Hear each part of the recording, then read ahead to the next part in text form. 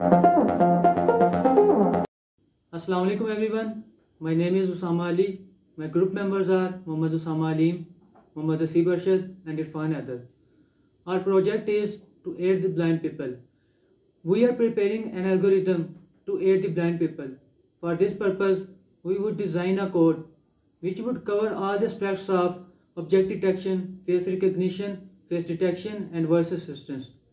All these aids are combined to form a system which would help the blind people. This system, we will develop our code on Python in future inshallah. We will apply this algorithm on a pair of spectacles and an earpiece.